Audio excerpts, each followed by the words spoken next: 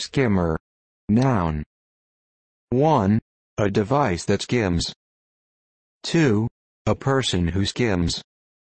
3. Any of three species of bird in the genus Rhynchops of the family Laridae, that feed by skimming the surface of water bodies with their bills in flight. 4.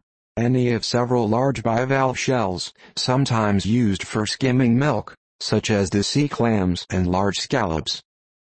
5. A ballet flat shoe.